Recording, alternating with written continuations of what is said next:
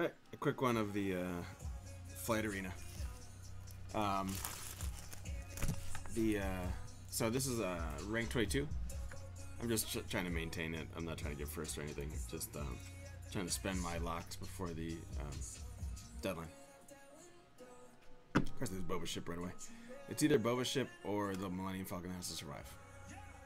Has to, meaning it's kind of the easy win if that happens.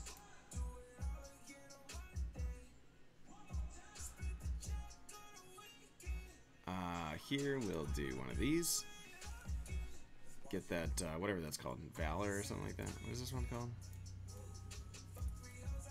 Ships keep moving. Valor, yeah. Gives my ship more speed.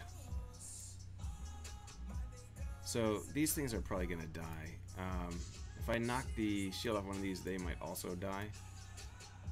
Okay, try that.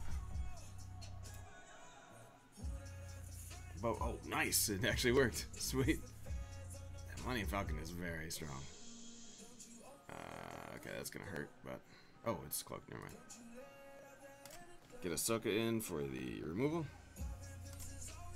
Oh, what? Uh, not thinking. Uh, dumb. Well, fives will knock it off in a second. Not he does that, Can't counter my fleet ship. Uh, target lock that guy. Boba? Oh no, it's okay. Okay. It's usually Boba that comes out right then. Slave one. Uh, let's do. Let's get Kylo out. Kylo's usually in combination with uh, Slave One, because then I just drop the nuke on him and it's fucking over at that point.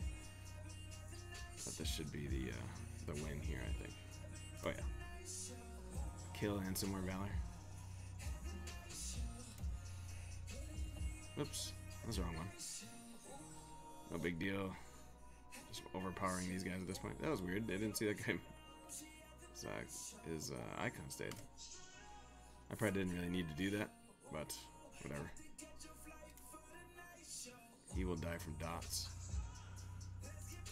And he will. So I guess it doesn't matter.